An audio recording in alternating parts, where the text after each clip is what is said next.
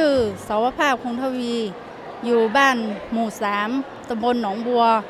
อำเภอชัยประการค่ะ คือดิฉันได้ไปเข้าประทับจิตอยู่ที่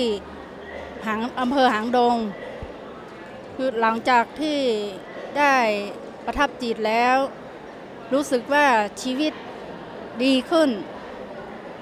คือหน้าที่การงานก็ประสบความสำเร็จ ไปครึ่งหนึ่งแล้วค่ะ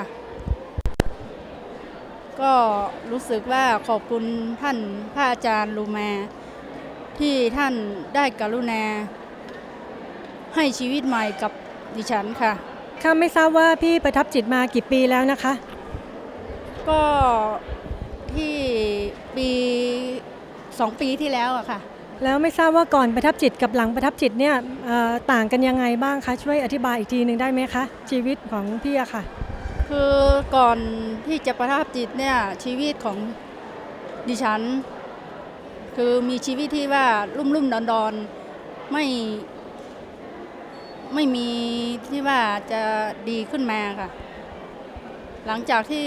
ได้ประทับจิตแล้ว รู้สึกว่าชีวิตดีขึ้นเรื่อย ๆ ค่ะ ค่ะ แล้วพี่นั่งสมาธิเอ่อตลอดไหมคะ นั่งนั่งเป็นประจำหรือเปล่าคะ ก็นั่งประจำค่ะ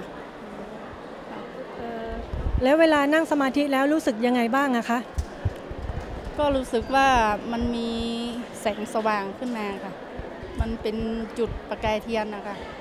มันแสงสว่างเข้ามาในชีวิตอะเวลาเรา ออกบ้านไปก็รู้สึกว่ามีคน มีคนเมตตาเรา แบบเงินทองไหลมาไงไม่รู้อะค่ะค่ะแบบว่าเราชีวิตเราดีขึ้นมา จากคนที่ไม่มีเงิน ก็จับฉวยอะไรไม่ได้เนี่ยก็รู้สึกว่าจับฉวยอะไรก็ได้ เหมือนเหมือนที่เราตั้งใจไว้ เราตั้งใจอะไรไว้เราก็ เป็นแบบสำเร็จค่ะค่ะ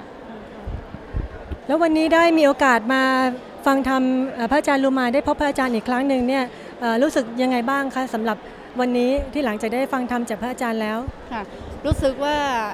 ดีใจมาก ๆ ค่ะ รู้สึกว่า รู้สึกดีใจบอกบอกไม่ถูกอะค่ะค่ะเอิ่ม แล้วถ้าไม่ทราบว่าพี่มีอะไรที่อยากจะฝากถึงเเพื่อนหรือว่าคนที่ไม่ได้มาพบพระอาจารย์ในวันนี้บ้างคะถ้าสมมุติว่าคนอื่นเนี่ยเราจะเล่าอะไรให้เขาฟังอ๋อค่ะ